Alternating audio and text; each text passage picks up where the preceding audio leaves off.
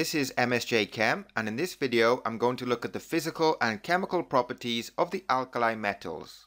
Alkali metals are very reactive metals. They are shiny when cut but react quickly with air to form a layer of oxide. Because they are so reactive, they are stored in oil to prevent the reaction with air. They also have low densities. Lithium, sodium and potassium all float on water.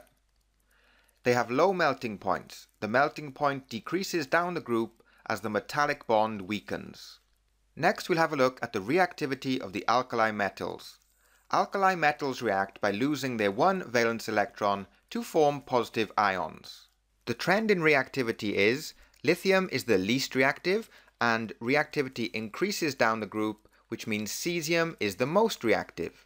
So reactivity increases down the group and we'll look at the reason for this. The distance between the nucleus and the outer electron increases down a group as the number of occupied energy levels increases. So that means the atomic radius increases down the group. Therefore, less energy is required to remove the outer electron. That means the ionization energy decreases down the group. Next we'll have a look at the reactions of the alkali metals. Alkali metals react vigorously with water to form an alkaline solution of the metal hydroxide.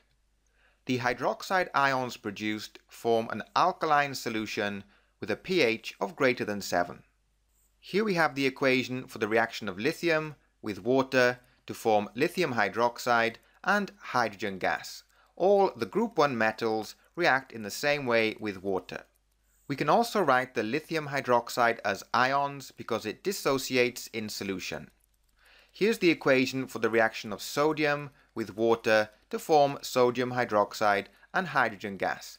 Again, we can write the sodium hydroxide as the ions because like lithium hydroxide, it dissociates in water.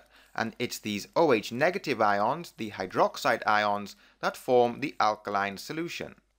So that's all for the physical and chemical properties of the group 1 alkali metals. Don't forget to check the video description for a practice worksheet with answers.